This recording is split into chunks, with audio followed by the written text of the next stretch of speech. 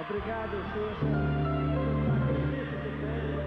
Obrigado por ter vindo, pelo sacrifício que você fez.